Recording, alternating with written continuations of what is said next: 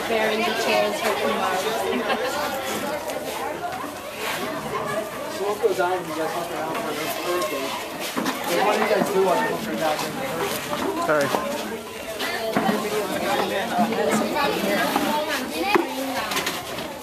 Everything for their accommodation. So it's only they are registered and everything and everything. They just kind of sit around and wait.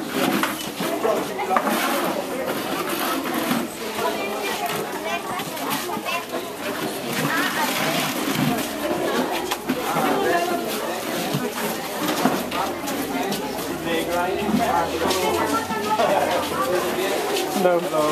This standard 60. There we have one.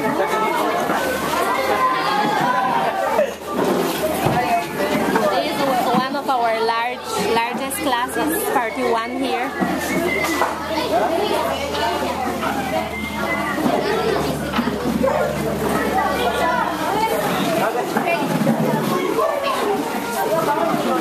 That's one of the largest ones. 36.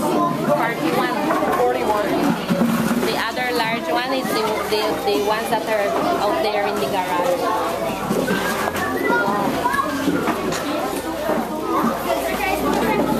And again, since we don't have a big class, we put them in that building